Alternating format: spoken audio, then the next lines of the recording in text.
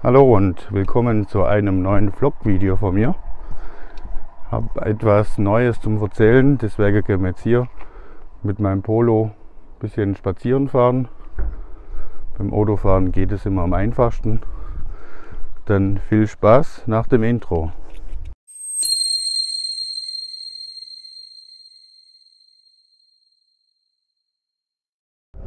Dann beginnen wir mal mit den Neuerungen das erste, dieses Video ist jetzt zugleich auch ein Test. Ich habe mir hier so ein neues Ansteckmikrofon gekauft, das Valimax Pro, speziell für Smartphones. Jetzt kann ich hier, ich mache ja meine Vlog-Videos mit dem iPhone. Das habe ich jetzt direkt hier am iPhone angeschlossen und kann dann jetzt dann den Mikrofon, äh, den Ton näher von meinem Mund aufnehmen. Somit müsste die Tonqualität und auch die Lautstärke auf jeden Fall wesentlich besser sein. Das zum einen. Und das zweite, ich hätte jetzt eigentlich morgen früh einen Termin im Krankenhaus. Sollte, ich muss operiert werden. Ich habe ja hier oben in der Schulter eine Platte drin. Und diese Platte, die kommt jetzt wieder raus. Termin war dazu morgen, morgen früh 7 Uhr. Jetzt hat heute Morgen das Krankenhaus bei mir angerufen und hat den Termin äh, verschoben.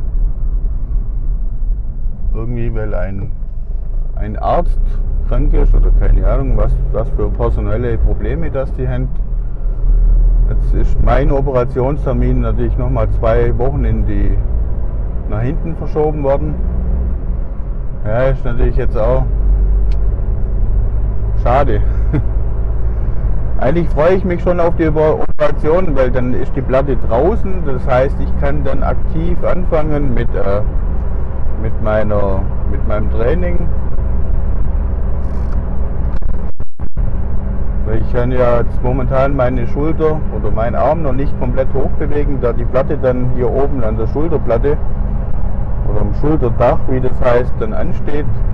Somit bin ich ja bin ich sehr eingeschränkt von der Bewegung. Und äh, wenn das zu lang geht, dann äh, verkürzen sich die ganzen Muskeln und alles und dann kann es sein, dass man das, wenn man das zu lange nicht macht und auch die, die ganze Krankengymnastik im Anschluss, dass die komplette Bewegung nicht vollständig wiederhergestellt werden kann.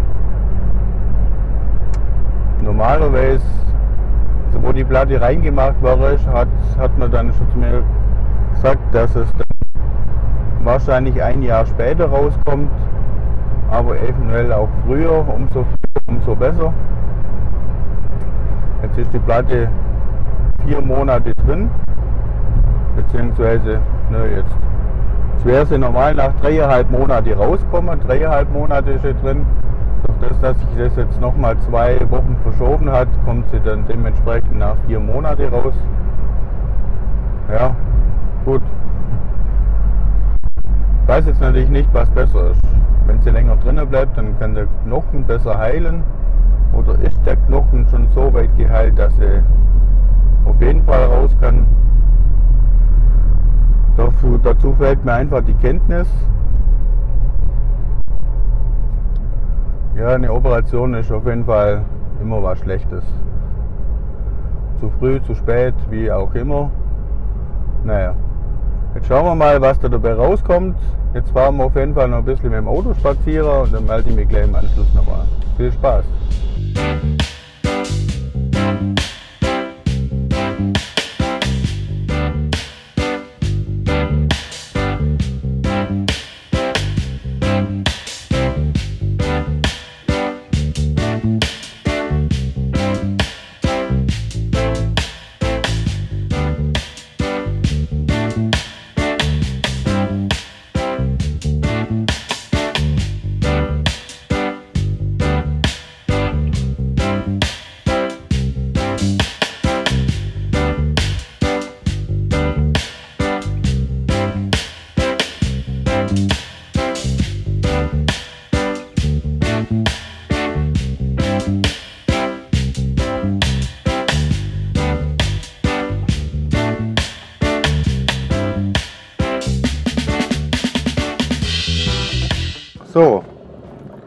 war jetzt der Sonnenuntergang in Ehingen.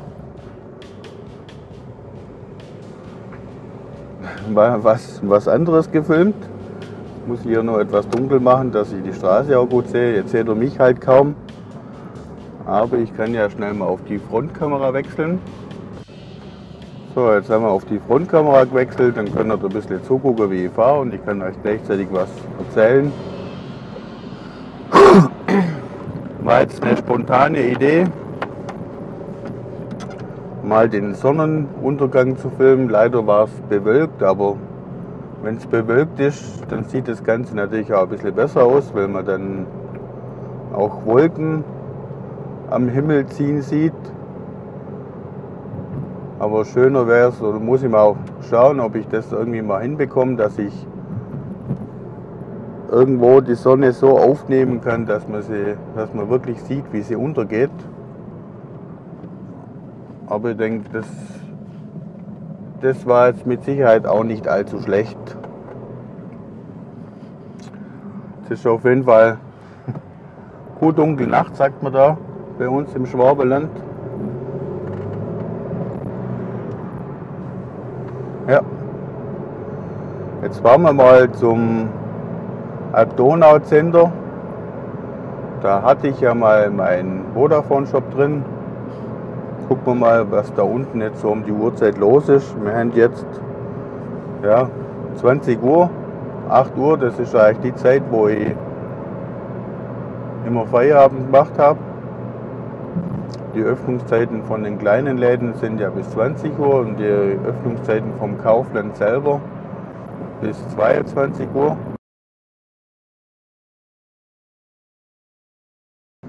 Auf jeden Fall wurde hier alles umgebaut. Der Eingang, der Haupteingang zum Parkplatz war früher hier. Der ist jetzt verlegt worden oder die Ausfahrt und die Einfahrt, das war früher getrennt, jetzt ist es eins. Ja, irgendwie sehr gewöhnungsbedürftig auf jeden Fall für Ehinger. Wenn man jetzt hier mal auf den Parkplatz schaut, also allzu viel ist hier nicht mehr los. Und es gibt auch nicht viele Läden, wo, wo bis 22 Uhr geöffnet haben. Ich denke mal, das Ganze ist eigentlich auch irgendwo überflüssig wer bis 20 Uhr seine Einkäufe noch nicht getätigt hat, der wird es ja bis 22 Uhr nicht schaffen. Auf jeden Fall sieht das Ganze hier jetzt etwas freundlicher aus, wie es mal war. Das ist schon mal der Vorteil davon. Früher hat es hier ein Haupteingang gegeben, jetzt hat man aus einem zwei Haupteingänge gemacht soll den kleinen Läden dabei helfen, dass sie dann nicht mehr so abhängig sind von der, von der Lage. Aber ob das im Endeffekt für die Mieter drinnen was bringt, sei mal dahingestellt. Hier sind auch noch Mietflächen frei. Also wenn wenn jemand hier einen Laden eröffnen möchte, kann er das tun. Flächen sind noch vorhanden. Empfehlen kann ich es aber keinem hier. Das Gebäude zieht nicht mehr so viele Kunden wie zu der Zeit, wo damals der Schlecker selber noch drin war mit dem Schleckerland. Schleckerland war was Einzigartiges, hat Kunden gezogen von also mein weitester Kunde war von München. Und viele Kunden so Raum Münzingen, Haingen. Ja, die ganze Region verteilt. Jetzt ist das Ganze sehr regional. Jetzt kommen eigentlich nur noch Kunden im Umkreis von maximal, also maximal 10 Kilometer. Wobei es das eigentlich auch schon gar nicht mehr so ist. Jedes kleinere Dorf hat inzwischen einen, einen, einen oder mehrere Supermärkte, Aldi, Penny, alles Mögliche. wenn jemand hierher kommt, dann eigentlich nur wegen den kleinen Läden, wie jetzt zum Beispiel damals mein Vodafone-Shop oder C&A. Aber so wegen den nächsten Kaufland fahren die wenigsten so weit. Okay. Fahren wir mal durch die Innenstadt durch. Die Aufnahmen, die sind jetzt nicht so scharf, wie es eigentlich vom iPhone erwartet wird. Das Bild rauscht nicht, aber das Bild ist nicht, nicht wirklich richtig scharf. Und, ja. ja, egal. Hier diesen Berg hoch, da muss man immer ein bisschen aufpassen, da wird sehr gern geblitzt. Jetzt abends um 20 Uhr weniger, aber mittags sehr viel.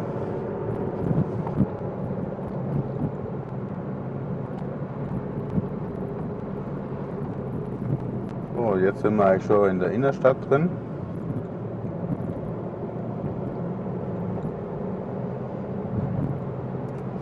Und da vorne jetzt dann links, links abgeht, wo jetzt dann gleich die Sparkasse kommt. Ich weiß jetzt nicht, ob die beleuchtet ist, ob man sieht. Da ist dann auf jeden Fall der Marktplatz. Also hier links geht es zum Marktplatz. Da ist dann auch der Müller. Ja, und alle möglichen Läden. Ja, jetzt weiß ich gar nicht, wie lang das Video inzwischen ist. Ich möchte natürlich auch immer versuchen, dass ich unter 15 Minuten bleibe. Weil alles, was mehr ist, ist dann eigentlich schon zu lang. Okay. Also wie gesagt, der Hauptsinn von dem Video war eigentlich heute einfach der Test von meinem Ansteckmikrofon. Bin da jetzt selber mal gespannt, wie die Audioqualität ist. Wenn jetzt ich mich beim Autofahrer selber filme mit der Frontkamera, da geht es mit dem Ton. Wenn ich jetzt aber so nach vorne filme, mit der Rückkamera, mit dem iPhone, wie jetzt, dann wird der Ton vom iPhone selber natürlich auch nach vorne gerichtet und wenn ich dann von hier aus jetzt ins Mikrofon reinspreche, dann hört man kaum was auf diesem Weg mit dem Ansteckmikrofon, wie ich es jetzt mache, muss der Ton auf jeden Fall viel besser sein. Aber gut ist, das höre ich dann nachher selber auf dem Video. Das ist das eine, der Test vom Mikrofon. Das andere ist, dass meine OP jetzt nochmal verschoben wurde.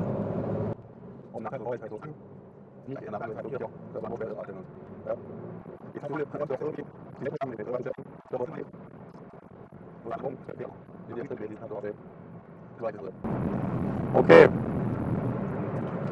Sage ich mal danke fürs Zuschauen. Das Video müsste jetzt eigentlich relativ lang geworden sein. Jeder, wo jetzt noch drin ist, alle Achtung. Könnt ihr mal in die Kommentare reinschreiben, ob ihr das Video bis zum Schluss angeschaut habt. Wenn ihr es nicht angeschaut habt, dann hört ihr das jetzt natürlich auch nicht, dann kommen auch keine Kommentare, aber interessieren tut es mich, wer mein Video nur ein, zwei Minuten anschaut oder wer das Video auch wirklich komplett anschaut. Also einfach unten in die Kommentare reinschreiben, ja, ich habe es bis zum Schluss angeschaut oder wie auch immer. Okay, dann bis zum nächsten Video. Ciao.